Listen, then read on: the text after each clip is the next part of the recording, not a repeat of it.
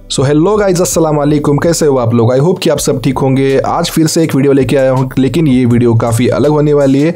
इस वीडियो के अंदर मैं एक्सप्लेन करने वाला हूँ कि ये वाला फ़ूड बैनर जो है, मैंने किस तरह से बनाया है। तो आइए स्टार्ट करते हैं। गाइस सबसे पहले तो मुझे क्रिएट करना पड़ा इसका बैकग्राउंड जो कि मैंने ऑनलाइन डाउनलोड किया था freepik.com से। इसके लिंक जो भी फॉन्ट मैंने यूज़ किए हैं, जो भी टेक्सचर्स मैंने यूज़ किए, जो भी इमेजेस मैंने यूज़ किए इस वीडियो के अंदर तो सभी के लिंक्स मैं आपको डिस्क्रिप्शन बॉक्स में दे दूँगा। आगे बढ़ने से पहले प्लीज़ चैनल को सब्सक्राइब कर देना लाइक कर देना इस वीडियो को। तो बैकग्राउंड क्रिएट करने के बाद में मुझे यहाँ पे टॉप वाला कॉर्नर यहाँ पे क्रिएट करना पड़ा। जो कि मैंने येलो कलर के अंदर क्रिएट किया था। और ये वाला कॉर्नर क्रिएट करने के लिए मैंने सिंपल से यहाँ पे रेक्टेंगल ट्रू टूल को यहाँ पे ड्रॉ कर दिया रेक्टेंगल को। देन मैंने इसके अंदर कलर को अप्लाई कर दिया येलो कलर के अंदर। सिंपल सा मैंने इसके ऊपर मास्क क्रिएट किया यहाँ पे। ब्रश टूल लेके मैंने यहाँ पे थोड़ा सा ब्रश कर दिया मतलब कि मास्क कर दिया।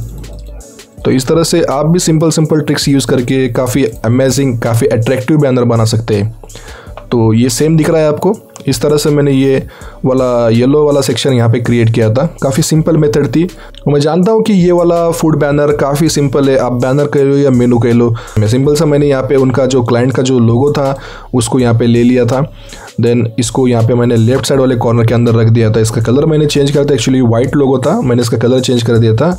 ये वाला टेक्स्ट मैंने यहाँ पे अप्लाई कर दिया था राइट अलाइन राइट के अंदर। लेफ़्ट अलाइनमेंट के साथ में ये काफ़ी कूल दिखता है। देन मैंने यहाँ पे उसका जो मेन कंटेंट था, जो थाली थी स्पेशल थाली और रेगुलर थाली का जो कंटेंट था, उसको क्रिएट किया था यहाँ पे। काफ़ी सिंपल वे से मैंने यहाँ पे पिक डाउनलोड की थी, इसको पीएनजी के अंदर कन्वर्ट कर दिया।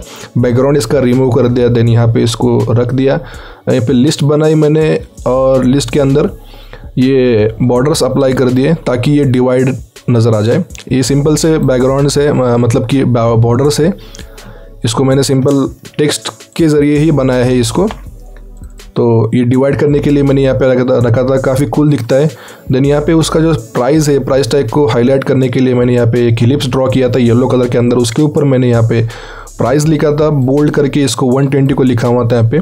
और थोड़ा सा इसके अंदर ड्रॉप शेडो मैंने अप्लाई कर दिया था ग्रुप के ऊपर। तो ये वाला सेक्शन होने के बाद में इसी सेक्शन को मैंने सिंपल सा कॉपी कर लिया देन उसके बॉटम के अंदर मैंने रख दिया, लेकिन इसका अलाइनमेंट मैंने टोटली चेंज कर दिया, इसको मैंने अलाइन कर दिया राइट साइड में। टेक्स्ट को राइट साइड में कर दिया और थाली को हमने लेफ़्ट साइड में कर दिया और सेम प्राइस टैग है यहाँ पे। और इसके अंदर कुछ एक चीज़ और मैंने बनाई थी यहाँ पे आ, कुछ इश्यूज़ की वजह से उसको मुझे रिमूव करना पड़ा। सिंपल सा मैंने ये जो स्वीट स्वीट वाला टेक्स्ट लिखा हुआ है यहाँ पे उसको भी मैंने इलिप्स के अंदर यहाँ पे हाईलाइट कर दिया था। लेकिन कुछ इश्यूज़ की वजह से मुझे वो रिमूव करना पड़ा। अब इसको डिवाइड करने के लिए मैंने सिंपल से यहाँ पे एक बॉर्डर जो मैंने टेक्स्ट वाला बॉर्डर यहाँ पे अप्लाई कर दिया था उसी को मैंने यहाँ पे कॉपी करके इसको यहाँ पे अप्लाई कर दिया था। देन सिंपल सा मैंने ये वाला कॉर्नर जो बनाया था, उसको ही मैंने नीचे बॉटम के अंदर कॉपी कर लिया। उसका अलाइनमेंट थोड़ा सा चेंज करके मैंने यहाँ पे रख दिया।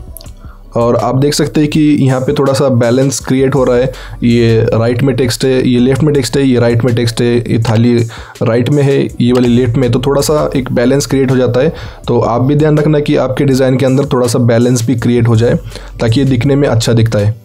और सिंपल सा मैंने यहाँ पे उनके लोगोज़ लिए थे गूगल पे और व्हाट्सएप के नंबर ड्रॉ किया था और एक नॉर्मल सा बटन यहाँ पे मैंने क्रिएट किया हुआ था। उसके बैकग्राउंड में भी मैंने सेम यहाँ पे, वही बॉर्डर को मैंने सेम बैकग्राउंड के अंदर यहाँ पे डिवाइड करने के लिए अप्लाई कर दिया था। सो so गाइज़ मैं जानता हूँ कि ये वाला बैनर काफ़ी क्लीन लुक प्रोवाइड करता है, काफ़ी सिंपल सा लुक प्रोवाइड करता है, लेकिन मुझे इसको एक्सप्लेन करना ज़रूरी था। मेरे जो व्यूअर्स है, वो काफ़ी नए हैं, सीखने वाले हैं तो उनके लिए मैंने ये वीडियो बनाया था। अगर पसंद आए तो प्लीज़ लाइक कर देना सब्सक्राइब कर देना चैनल को और शेयर कर देना। काफ़ी सिंपल वे से मैंने इस बैनर को बनाया था। आप भी इस तरह से बैनर को बना सकते हैं। और अगर बनाया है तो प्लीज़ यार इंस्टाग्राम के ऊपर टैग कर देना। लिंक आपको डिस्क्रिप्शन बॉक्स में मिल जाएगा। तो ऐसी और भी आने वाली वीडियोस के लिए प्लीज़ चैनल को सब्सक्राइब कर देना। मैं मिलता हूँ आपको नेक्स्ट वीडियो के अंदर तब तक के लिए टेक केयर